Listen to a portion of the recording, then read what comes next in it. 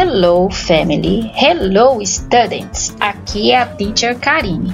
Estou passando rapidinho para reforçar as orientações das atividades de inglês da semana passada. Recadinho para a turminha do primeiro ano. Se você tiver impressora em casa, você pode imprimir a folha de atividades e colar no seu caderno de inglês. Se você não tiver impressora, desenhe em seu caderno a personagem que você mais gostou pode colorir. Quanto à salada de frutas, você pode usar as frutas que sugerir ou simplesmente substituir por frutas que você tem em casa. Se não tiver fruta, vamos brincar de faz de conta?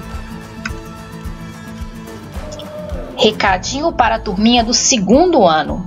Se você tiver impressora em casa, você pode imprimir a folha de atividades e colar no seu caderno de inglês.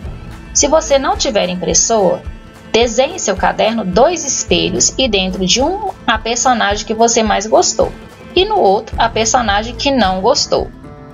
No exercício 2, você irá fazer os sete anões, a Branca de Neve, a Bruxa e o Príncipe usando o material que eu sugeri. Ou você pode criar o seu próprio material. Use a imaginação.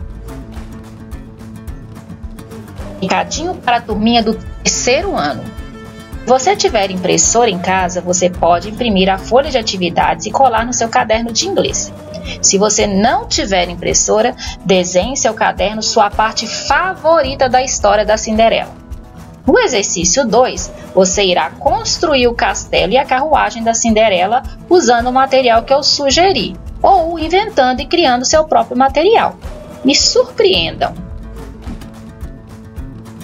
Cadinho para as turminhas do quarto e quintos anos.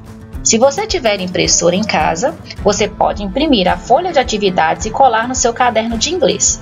Se você não tiver impressora, desenhe em seu caderno os objetos do caça-palavras ou faça um vocabulário. Exemplo: palavra cat. Você pode desenhar e do lado escrever cat. Ou, fazendo o vocabulário, você pode escrever cat e ao lado gato. No exercício 2, você irá desenhar o seu final para a história dos músicos de Bremen. Use a sua criatividade. Nesta semana, iremos relaxar um pouco com os games. Iremos aprender nos divertindo. Vá tentando e mexendo até conseguir. Have a nice weekend. Tenha um agradável final de semana. Beijos da Teacher Karine.